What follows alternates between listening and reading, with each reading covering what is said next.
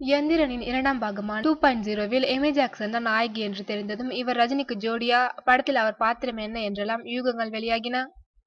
இப்படத்தில் Amy Jackson ஒரு ரோபோவாக நடிப்பதாக ஏற்கனவே செய்திகள் வெளிவந்தது.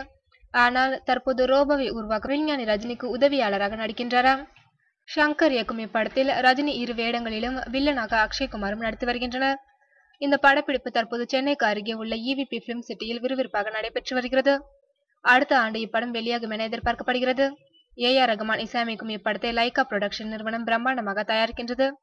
இப்போது கபாலி படப்பிடிப்பிற்காக ரஜினி மலேசியா சென்றிருப்பதால் அவர் சம்பந்தப்படாத காட்சிகளை ஷங்கர் படமாக்கி வருகின்றாராம்